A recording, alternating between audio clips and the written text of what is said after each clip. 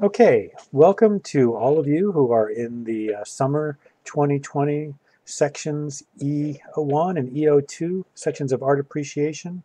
So those of you who are taking art appreciation from MUW this summer, welcome. So uh, this this lecture is just a basic introduction to the course. I'm going to talk mostly an introduction to uh, the course content and how the course content is struggled in the course and maybe answer a few questions along the way. Um, but this isn't a thorough going through every part of the syllabus and um, it doesn't cover everything about the course. There will be some more lectures following this that will go through how to use Canvas, um, how I organize Canvas particularly um, differently from other people, um, another video on finding the videos, where the videos are, and using the videos, and another video on the overall calendar of the course. But this one is really just kind of about the big topic of what is appreciating art, and yeah, how does the course teach art appreciation? But you probably have some other questions, such as, who am I? So my name is Alex Stelios Wills. Um, and you don't have to write that out or say that out. Um, you can just call me Mr. SW um, or Professor SW or whatever you want. That's fine. You can even, in an email, you can call me Alex if you like, although most students prefer not to be so informal. So what are we going to learn? Well, that's one of the main things we're going to talk about here. We're going to talk about different ways that art appreciation courses are organized and then the and structured and the types of content that you might find in art appreciation courses and then specifically the kind of art content that is in my art appreciation course.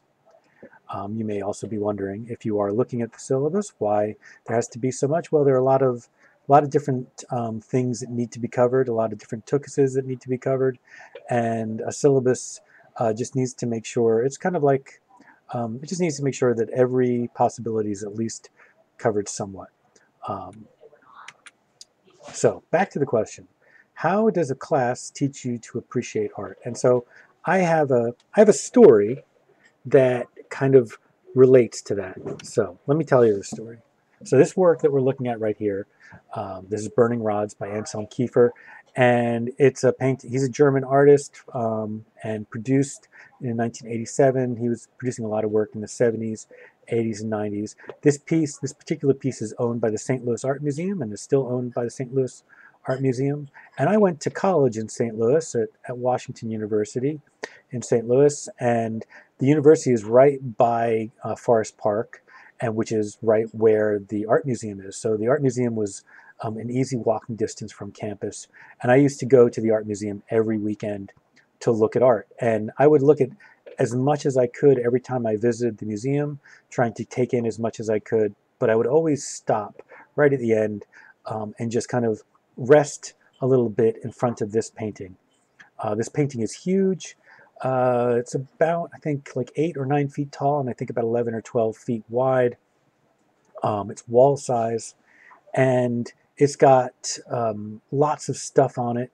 Back then, it still had a skate on it, has sand poured on it, it has molten lead poured on it, it has straw kind of embedded in the paint, and all kinds of other stuff. And I was always hoping to be there at one point when one of those things might have fallen off. Like I said, there was a skate, like a, you know, an ice skating skate um, attached to the painting, and uh, it did eventually fall off, but not while I was watching the painting.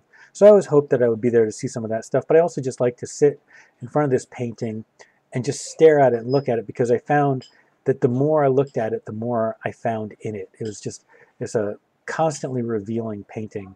And I feel that's true about Anselm Kiefer's work in general, like that at first you don't see kind of the landscape space, the suggestion of, of uh, plowed fields, and then you start to realize that those plowed fields could also maybe be some sort of stadium seating. None of that appears to you at first, but then the more you look at it, the more you see. And this painting, by the way, is about the Chernobyl disaster um, in the Soviet Union, where a, um, uh, a, nuclear power plant had a terrible accident that um, hurt a number of people and made a hard, large portion um, of uh, the Soviet Union uninhabitable. I think it was in Georgia. Do you remember? Anyway, um, so anyway, and those of you who might have seen the TV series Chernobyl might remember that. So I'm sitting there one day. I've gone to the museum to look at artwork, and I'm sitting there, and I'm looking at this painting. I'm just watching it, um, just sitting on the bench, kind of like that. That's not me, but pretty much just like that guy there, sitting on the bench with a sketchbook in hand, sketching the painting, looking at the painting. When all of a sudden, I hear a group of a family group in the room next door to the to my left. Um, they're in the room where the Chuck Close is and the, uh, James Turrell, um, and uh, and they're making a lot of noise. And but I'm sitting there, and I can hear like the kids. They seem to be having a lot of fun, and all of a sudden, I can tell that the kids have seen stuff in the next room over, the room to my right. They can see all the bright paintings in the German Expressionist room, where the Max Beckmann paintings are. And so they're heading towards, and all of a sudden they start running. And I'm sitting there, and now imagine three kids, one oldest, maybe about 11, one a little bit younger, maybe about nine, the youngest, maybe about seven or six. Three kids running right in front of me, right in front of this painting, going to the next room. But right when they get in front of this painting, all three of them kind of turn and look at it and they just slide to a stop so that they stop right in front of the middle of this painting. And the three kids just look at it and they just kind of like their jaws drop and they're like, wow, wow. You know, you could just hear the gasps. And then they turn back to, to the adult in the family, to their dad, and they call out to him. He's still in the room with the Chuck Closes. And they say, you know, Dad, Dad, what is that? And he says, you know, um, and of course he used uh, more more cuss words, but he said, damn right, what the hell is that? Uh, and then he walked on.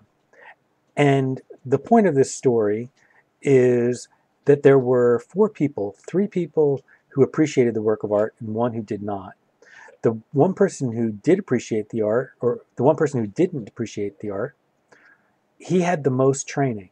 Only all of his training was learning to dismiss, learning to not like, not learning to not appreciate.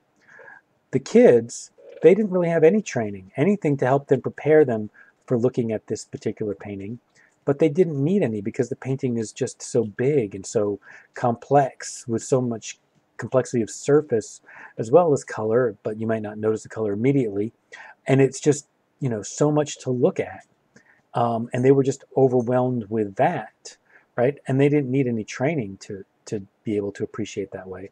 So the, the point I make about the story is that the main thing you need to appreciate art is an open mind, a willingness to look and to, to relook and to think, you know, not close down and say, I don't know what that is, that's stupid.